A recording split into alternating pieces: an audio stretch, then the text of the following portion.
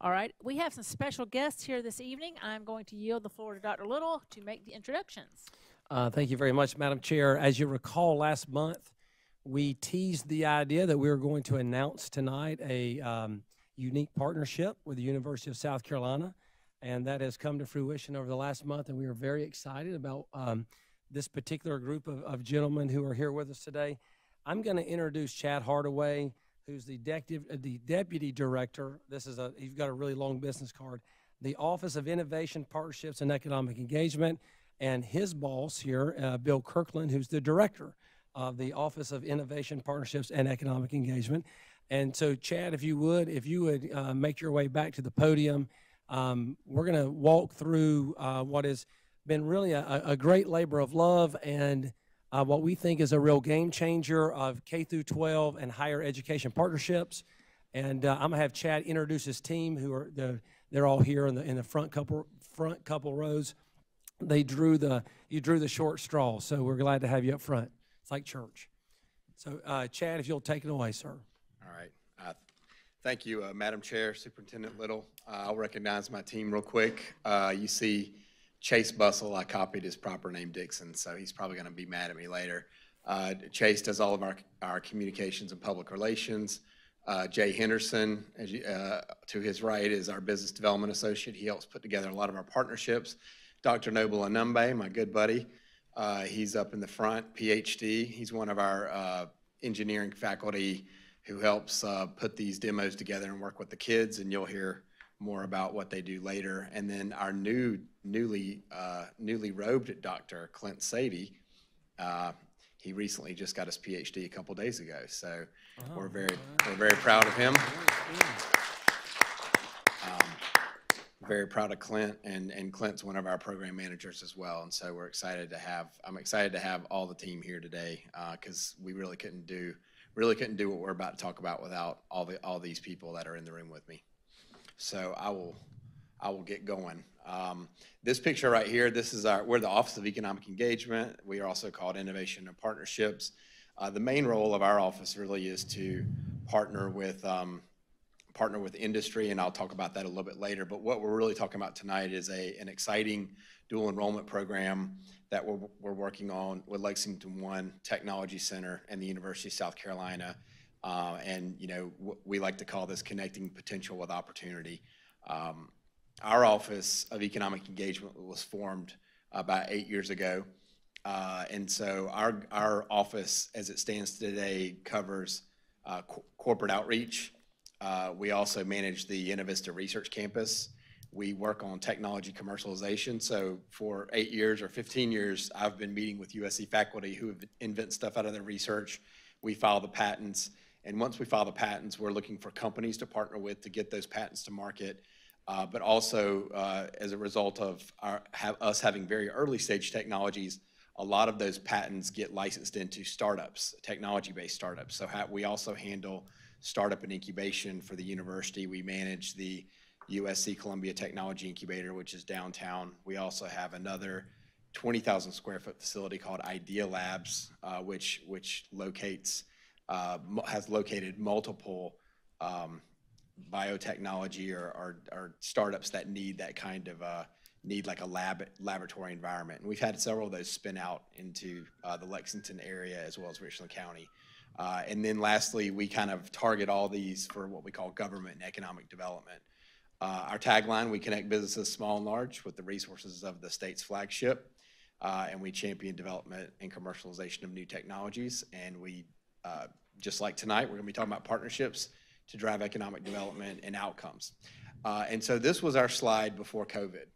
Uh, what I would say has happened to us after COVID is has been this other box called workforce development education and skilling. And so one of the things that we realized uh, where we where we're situated and what we've been doing at the university is we had a unique opportunity to pair uh, to pair the uh, the industry partners that we have in our backyard. We're an industrial state. It's what we do. Uh, we have all these partners that we've been working with to engage our students and our resources to solve their industry problems. And so uh, that's what we were doing before COVID. What we found after COVID is that this environment we've created uh, to, to solve these industry problems is also a very fertile breeding ground for training not only undergrads, but potentially uh, our high school students and exposing them to real-world industry problems uh, and, and getting, getting a front row seat to working with companies like Nephron, uh, working with companies like Siemens, Samsung, IBM.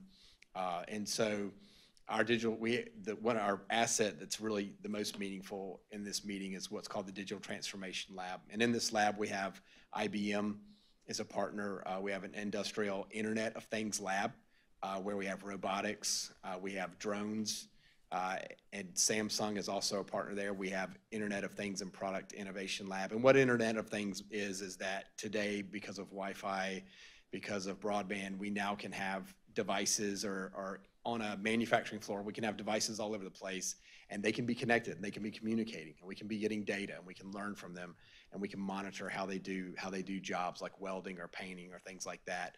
We also uh, have an artificial intelligence lab. So we we hired um, through Bill's leadership, we went and hired one of the top AI uh, professors and researchers in the country and brought him to USC.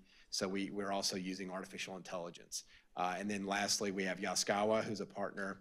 Uh, and what, what Yaskawa is, is they're, they basically make, the, if you ever go to any of these plants that have manufacturing, these huge one-armed robots that do all kinds of stuff, uh, that's what Yaskawa does. And so one of our, uh, one of our very exciting projects is over, and this happened over COVID, is we had a robot from Yaskawa that they gave us. Uh, Bill called Lou Kennedy up, Bill Kirkland, not Bill Kennedy. Uh, Bill Kirkland called Lou Kennedy up and said, hey, Lou, there's a robot here. Um, maybe you could use this over at Nephron. And so we actually had over about five or six semesters and about 30 students, we had these students working on a, on a robot that um, basically, basically replaced humans in a sterile compounding operation. And so that robot went from a small demo on a table to a to a full-size demo, and then uh, lastly, it takes up an entire room, and then and that device is now over at Nephron getting FDA approval, and that was done with USC engineering undergraduate students. And so the way our the way our process works, and this is what Noble and uh, Dr. Noble and, and Dr. Clint have have built, is we have this development area, the workshop development area. If you see right here on the left that's where we put together the demonstration. So right here we have a Volvo bumper. You can see here there's a robot with an iPhone on it, and it's it's it's scanning that robot. I mean, scanning that bumper for visual defects, and that helps Volvo make sure that the people don't miss they don't miss items on the bumper, and that helps you know keep keep production going. The digital transformation lab in the middle you see uh, is actually like a we built it like a trade show style, where once we once we harden these demos and get them working, we put them in this lab, and this is where companies can come in and showcase, and our students can work on them. And then lastly, uh, this is what Nephron, this is really what the Nephron project did for us, is we built this future factory lab. And so what this is, is that these robots on the future factory lab right here, uh, these are Yaskawa robots. We've programmed them to do all kinds of tasks. This was part of the Nephron demo. But if you can see on the top right, and I know, I know it's an eye test for, for you guys, but on the top right, the really exciting part is that through the Siemens partnership that we have, we can do something called digital twinning. And what that means is we can take robots like the like the robots, the physical robots you see on the table, we can build through the Siemens software a digital twin of those robots, which means anybody anywhere can do a can manipulate or do a um, do basically like a uh, a dry run or a simulation of those robots and say, hey, I want these robots to do this. Let's simulate first, and then let's let's see how the real world effect um, tees up. This will be valuable in the partnership with Lexington One because what we are envisioning is a um, what we're envisioning, and, and this is a vision. It's a joint vision. Okay, we built this together. Um, this is what we've done with Superintendent Superintendent Little's uh, leadership and and his excitement and we really wouldn't be here if it wasn't if it really wasn't for him encouraging us to dream big and and think about you know think out of the box here and so you know i really i really put down this is this is the lexington one vision which says how do we create an immersive student learning experience uh, and university our students engage in discovery design and development and so um, this is something that we've been doing for a while but i'm going to tell you like we're hot off the press december 9th we actually had an article that was posted by Siemens. This is on their website, And this is a Siemens article that came out talking about preparing students for the factory of the future with Siemens Solutions. This is in, and if you see it, it's Columbia, South Carolina. Um, and so, you know, Siemens has us featured and the work we're doing on their website. And I, and I show you guys this just to say like, hey, this is not something that we dreamed up with duct tape and, and, uh, you know, and, and a box full of screws. Like this is something where we have it, we have ingrained industry partners. They're excited about what we're doing. They're highlighting it and they're supporting us. Uh, and so Siemens is a huge partner. Uh, the reason why the digital twin is so important from Siemens is that the digital twin gives us the ability to create a virtual environment that can be anywhere. It could be at Lexington One Technology Center. It could be at River Bluff High School. It could be at Pelion with kids interfacing through the digital twin and we, while we have the real robot in Columbia. So that's the other benefit of, of this design and what we do. Um, and so what we're talking about with Lexington One is how, how do, we're working on creating a new course, which will, which will basically intro to engineering cl classes. It'll, it'll fit in very nicely with what Lexington, with the track that they're doing at the Lexington Technology Center. So it's not, it's, it's not creating a new class or anything novel. We have an existing course code. This is all defined. Um, and and uh, so the goal is that we would create this this new course, and the goal is that we would have these kids come in.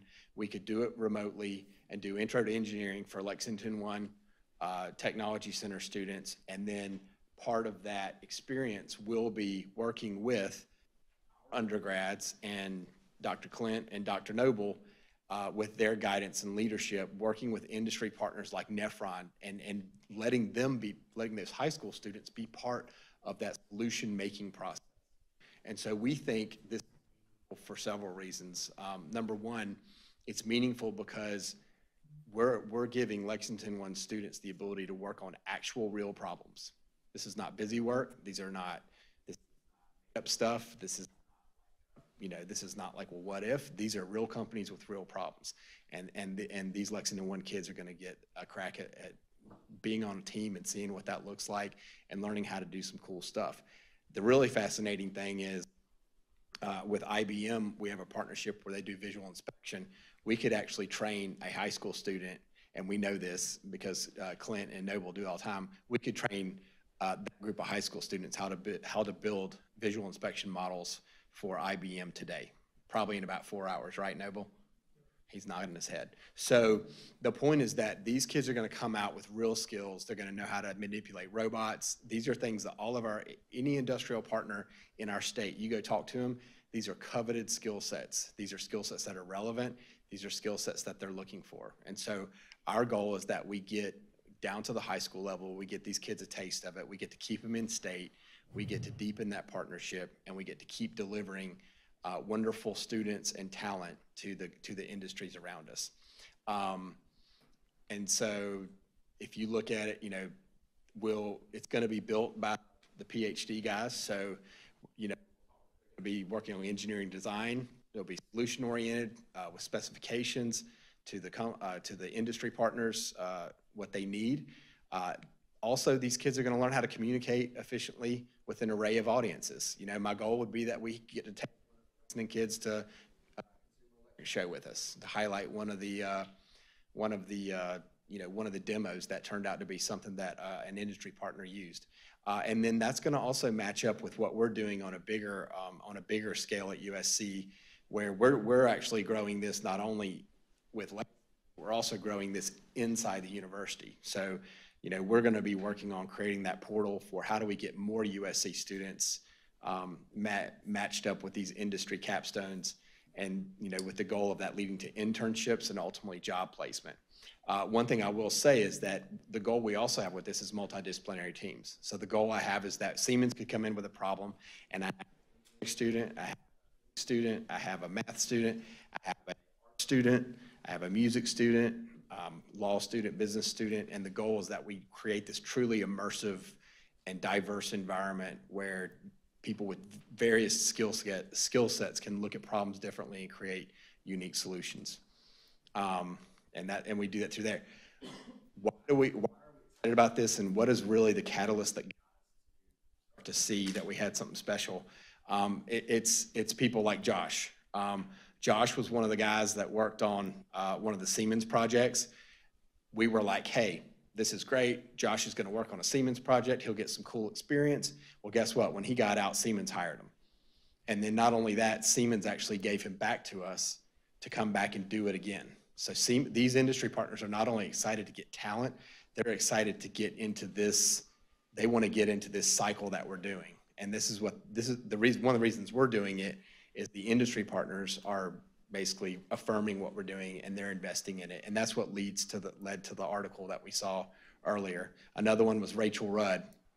Um, Rachel uh, came through in 2017. She was working with uh, GKN Aerospace, and she was picked up by those guys. And once again, it was a perfect example of where she had an applied project. They saw her talent, they saw her her produce on the undergrad level, and now she's working with them. And then lastly, uh, Lam Win, uh, he was one of our uh, one of our undergrads that, that worked on the Nephron project. So now what is he doing? He built the project at USC.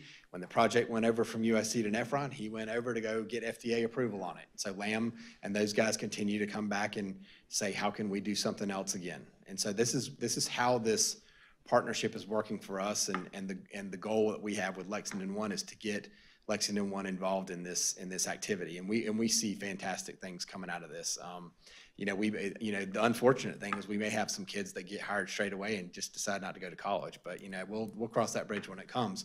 But the the goal here, you know, as you can see, once again, we were very heavy in, in innovation, entrepreneurship, you know, startups, you know, uh, delivering industry solutions. What what's really come as a result of that, and, and I would say, I would argue, from us being so pragmatic is and focused is that what's really led out of this is this awesome opportunity for student experience you know as, as dr little says uh, an, an, immersive experience for these kids and and really helping these kids gain skills and and uh, and skill sets saw all the way from soft skills to technical skills um, we're seeing these kids just go out and flourish um, this is just a slide that shows our affiliated centers just to give you kind of a, an idea of the depth and breadth of our office and what we do. We, our office reports straight to the president of the university and the CFO. We, we're not an academic unit where we fly kind of above those. Um, and, and the nice thing about that is that gives us reach across the whole university. So you can see we're doing everything. We're in centers all the way from aerospace to pharmacy to healthcare, predictive, uh, predictive maintenance, and all of the above. So just giving you an idea of the breadth of what we're doing. One point I also want to make too is that we this this whole environment we built is technology agnostic. It's really about how do we develop solutions. So one day we could be doing a biomedical, one day we could be doing aerospace, one day we could be doing manufacturing. As long as those principles are there of teamwork and de delivering solutions for industry partners, we can really go anywhere. So you know, don't we typically get kind of pigeonholed in well, this is just cyber or engineering or industry, but this could really go anywhere. Um, and this is just copies of our, you know, this is uh, copies of our strategic priority, just to show you that this is this is in alignment.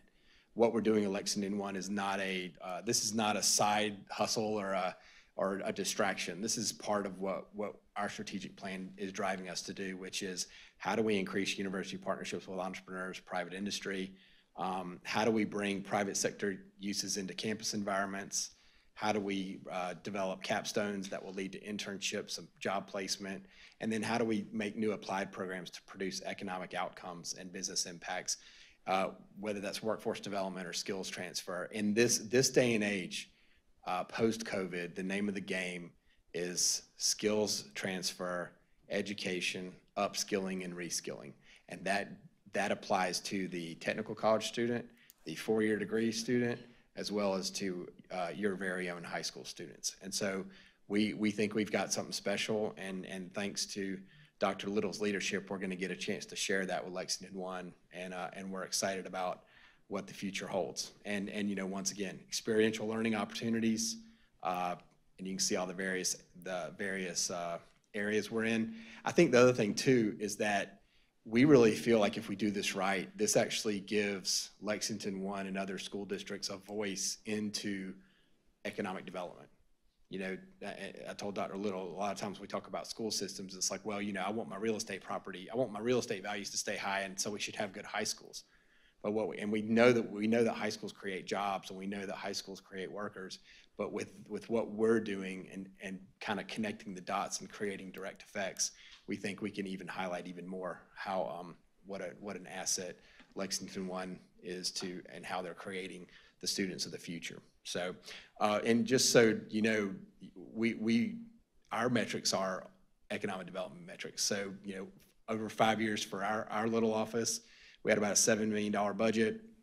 Um, over that, over that five-year period, we've had about a $713 million direct impact and a $791 million indirect uh, economic impact. A big part of that was Siemens, it was 628 million, but if you take that away, we're still 85 million and 163. So the one thing too is we believe we can pull Lexington One into this and show how Lexington One is, is contributing on the economic scale in a real and meaningful way. Um, and then these last two slides are just slides of our partners.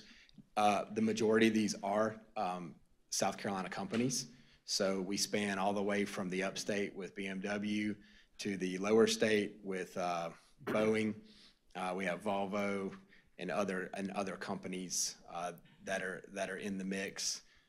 Recently, what we're very excited about is we've we've added partners such as Seagate, Fortinet, Rove, REI Automation. Um, that's really opened up the cyber kind of universe to us, uh, as well as a partnership with Amazon. We have a partnership with Amazon on the AWS side, where we're using their their web services and things like that to give us real time uh, real time data and help create responsive manufacturing environments. So I will stop there, and Dr. Little and Madam Chair Chair can tell me if I need to do anything else. Well, you can tell he's a higher ed guy who's not going to be here when we finish this meeting. Uh, But uh, it, it's a thorough presentation, but it's one I think is absolutely necessary, Chad. Thank you for sharing that. Uh, Can we give him a round of applause, please, and his, his team?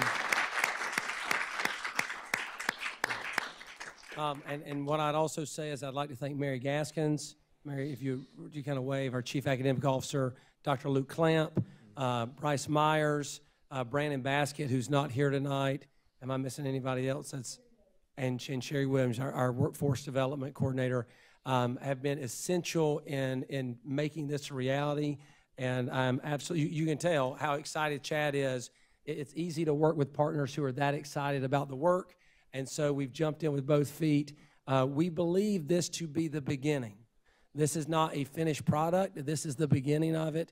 Um, I get excited about having a, a middle schooler and, and what this will be over the next few years. Uh, my middle schooler loves math, so this will be uh, pretty exciting for her. I think one um, in, a, in, a, in a few years, and I just think about um, we're going to grow and evolve and, and turn this into something really absolutely brilliant, and it's already pretty cool. Um, so thank you, Chad. I'm gonna get if we can get your team up here, we'd like to take a picture, and then then um, we'll be just know we're gonna be hard at work at this over the next few months. Uh, we've got to recruit. We've got to we got to get kids interested and get kids involved because we want to launch the uh, the course next year. We don't want to delay, and we're going to try to get some kids uh, engaged this summer. Uh, so there's a lot of things that we got to get done over the next couple of months. So it's going to be a tight timeline, but I think we're going to be able to do it. Are there any questions for? I, I should ask. Are there any questions from the board? What you said just kind of tri- made me think about. I wrote down a few things I was just going to ask you, um, but this is very exciting, and I can just imagine a bunch of our students being interested. Is there like a cap? Do you guys have how many students you can accommodate with this? So, I mean, we're, we're, we're big believers in kind of hitting a single first, then a double. Okay. Want that first class to be 10 to 15 kids. And, and then I think we're going to scale it. So, so, you know, what I think what'll happen is if this is a success, uh, both USC and Lexington One will both earn the right to grow. So that may be, I told Greg, I said, just like he got me to come here and present to, uh, to the board, I might be going to, I might be taking him to my Lexington, uh, county council meeting and telling the county council folks, um, that we need to, they need to help fund more of this program so we can get more kids in it or, or whatever. But the good news for us is, even with this small team, um, and Bill would tell you, you know, with this small team, we've done amazing stuff. And the nice thing with, with two PhDs is I've got plenty of people who are going to be certified to, to kind of shepherd these kids and guide them through the process. And so that, that, just those two guys, Dr. Dr. Noble and uh, Dr. Saidy, those guys uh, are giving me probably capacity off, right out the gate of probably 40 kids.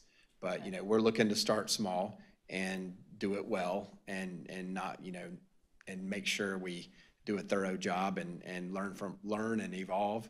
Uh, but yeah, we could grow this, and, and I think that this is something we could absolutely come back and get funding for, whether that's from Lexington County or, or whoever. So, and the other part too is we are working with our own College of Education, Barnett Berry, Dr. Barnett Berry, um, and, uh, and, uh, Vic Young.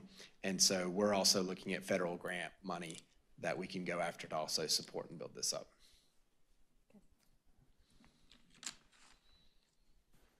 All right, thank you very much. Let's get let's get a picture real quick down front.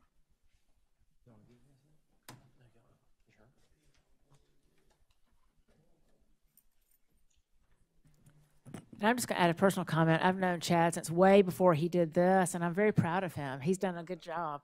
I haven't seen him in years, and I've seen him twice today. Saw him this morning.